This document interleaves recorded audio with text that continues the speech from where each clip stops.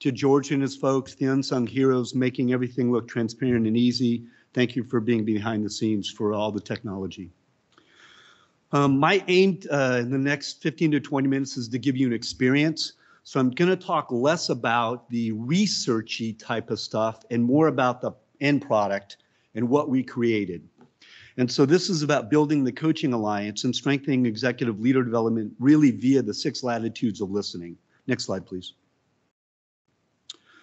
So whether you're in person or virtual on Teams, would you just please, on a scale of one to 10, how would you rate yourself as a listener?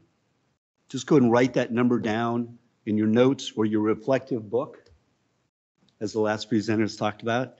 And if you're uh, on Teams, if you're so bold enough, go ahead and put your number in chat. We're not going to ask you to defend that number or define it. We just kind of want to know what the starting base is.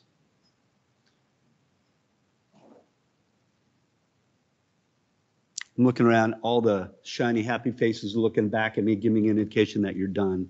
And I see a lot of numbers coming in, seven, eights. Thank you. So a little bit of the, the background. Um, participants from five coaching programs um, often commented on the struggles as a student coach, their emergence of becoming from a student into the student coach, and then ultimately to a professional certified coach. The growth edges that they frequently mention involve mindfully entering into the coaching space, presencing, overcoming imposter phenomenon, listening, and confusion between mentoring, consulting, and coaching. Further informal discussions with these participants and analysis of end-of-course surveys, the end was about 1937, really helped answer this primary question. How can we meet students and emerging coaches where they are at in their coaching journey? From that question and the data we gathered and our findings, we really developed um, 10 models. I'm presenting one of them today called the six latitudes of listening. Next slide. Okay, I'm going to do an audible. I know it says here pair up, but in the interest of time and also to connect what Abigail, Heather, and Alinda offered, I'm going to invite you to do a reflective practice right now. So just on your own notes, I'm going to have you answer this question if you had to uh, have a discussion with someone else on the most challenging thing in your life right now, how might that go? So if you're going to have a discussion with someone about the most challenging part of your life right now, how might that go? This is an open and reflective practice. will take about 90 seconds. We're going to ask that you just write that down. And if you're on Teams and if you want to share so boldly into uh, the chat, please feel free to do so. Great, thank you. I'm going to model the behavior I'm asking of you. In a moment, I'm asking at least one or two of you inside the room to share aloud what you've written down. So to model that first, I wrote down um, making sense of my past, um, how I'm how I, will I connect with my own goals, and what am I missing or what could be. So those are some of the notes that I wrote down. Would anyone else in here like to share some of the thoughts that they wrote down. Okay, the, uh, the issue is uh, basically closing my uh, mother-in-law's house after her passing with six sisters or six daughters in that family. They lived in that house for 50 years. Thank you for sharing that. Another voice? Okay, that felt like. I'll air my laundry. So Go ahead, mine is uh, balancing the challenge of sandwich parenting with ailing parents and uh, beginning my transition from the Army. Thank you. Appreciate that. Next slide, please. So what we've just demonstrated is um, actually listening to yourself in a reflective practice as opposed to listening to someone else. That's the what we were going to do.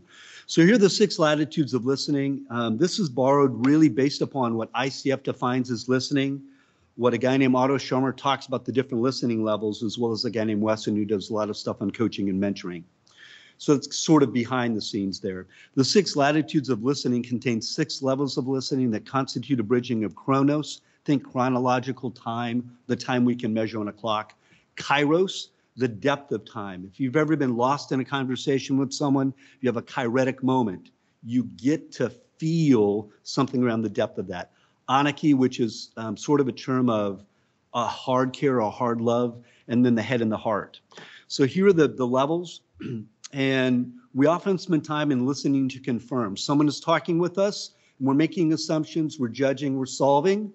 I know I'm not the only one, but sometimes in my relationships, someone is telling me their problems, and I'm thinking, well, if you just did this, you would solve it. That doesn't work really well sometimes. Listening to understand, active listening. That might be practicing the seven skills of listening where you're um, summarizing or you're echoing the words that they use. You're asking for clarification. And it's about what is said to understand. Listening to reflect. This is about appreciation and reflective inquiry. Really attention to the nonverbals come into play here. Listening for connection. That's about resonance and trust and emotion. Have you ever had a conversation with someone you go, man, there's something about that I'm just resonating with? You're feeling that reverb not just what's being said, but maybe the song beneath the words. And then listening for curiosity, that's true wonderment and openness. Listening holistically is energies and deeper meta. Next slide. And this is a beautiful slide putting all those together. I'm going to start on the left and work my way to the right. The top listening levels, listening to confirm, understand, and reflect, really touch on the past, what was, the more me focused. The present, what is and how. And sometimes the more they focus, it's not just me, but it's this other person in this journey with me. And as you begin to get below the line, below the surface, as we might call it, you begin to listen for connection, curiosity, holistically, and that's about the future. That's about what could be, and maybe even the unspoken, what's not being said in that moment. And then you begin to form the S Alliance. At least that's what we've seen in coaching. You'll see in the far right then the head, the heart, and then as you move to the lower levels, the deeper levels, you have head, heart, and hand all together, and that's really represented in the globe. That's holistically. Next slide. We're going to do this invitation to have a conversation. I'm going to have you go back to your same notes. And I want you to just now, using the different listening levels, First, I want you to just consider the answer to how to best care for your aging parents or other loved ones. So you're just going to listen to what you're saying in response to this invitation. How to best care for your aging parents or loved ones. And then I'm going to have you go to the next slide, please. And as you're listening to what you need to do or should do about caring for your aging parents or loved ones, what listening levels are now being activated? Is it more about the past, present, or future? Is it me, they, or us? Is it listening to confirm, understand, reflect, or the deeper listening latitudes of connection, curiosity, holistically? Again, we'll take about 90 minutes. We cued the lights so you'd have a nice reflective experience. about 90 seconds, and we'll come back and then uh, continue. Um, thank you for your work. Uh, I'm going to share some of my thoughts. Um, I used to be the primary caregiver for my 98-year-old aunt when I started the PhD program. Um, was glad to take care of her, but it it it uh, it just made me a better human. And, and I now often think about um, aging friends of the family that maybe don't have anyone else, kids or siblings to help take care of them.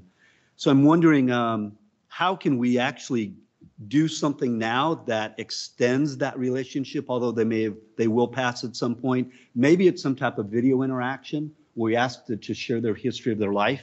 That's kind of what I'm sitting with now. I'd invite um, one or two folks in the room just to share what they're thinking about in terms of uh, the reflective practice that we just did. I guess I'll go. Um, one thing, my, my parents love to travel.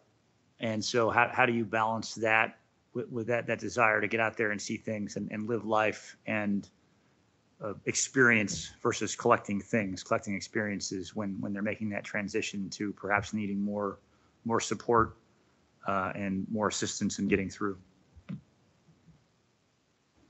Thank you, Joe. That actually connects to the time I had to tell my aunt at 97 she couldn't drive anymore. But the deal was I bought her car so she could still feel like she owned it, but she couldn't drive anymore at that age. Yeah, thank you for sharing. Um, and then Maurice, I think you had your hand up, sir.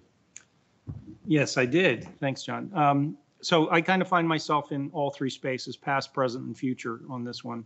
Uh, past, thinking about what my parents went through when they both were in the final stages of their, their life and some of the, the choices that they made earlier on in their lives that led to uh, how they lived the, the, their final years of their lives. Um, which brings me to the present, right? In thinking about what I need to do to maybe experience my latter years um, differently than, than they did. Um, and then more importantly, maybe, maybe not, uh, at least to my children uh, in the future, how I make decisions about things will impact how they have to clean up after me when my time comes, right? So those are all parts of the, the conversation. Um, and so empathizing with, with others who are going through it, um, and then also uh, reflecting on others who will go through it in the future. Thank you. Um, I want to connect what we just observed for, for me, to connect to, to what the previous presenters talked about. The power of, of reflection and reflective practices is really you gain insight and self-awareness. So if you go to the next slide, please. I'm wondering now on a scale of one to 10, how would you rate yourself as a listener? Ideally, whatever number you started with, if it increased by one, we've done our duty today and our due diligence. So I'm wondering where you will, uh, where this skill will next show up in your life. Not something to be answered now, but it's something as we move now into the Q and A. Next slide.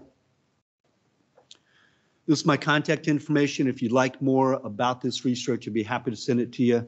Thanks for participating and going on the journey with us.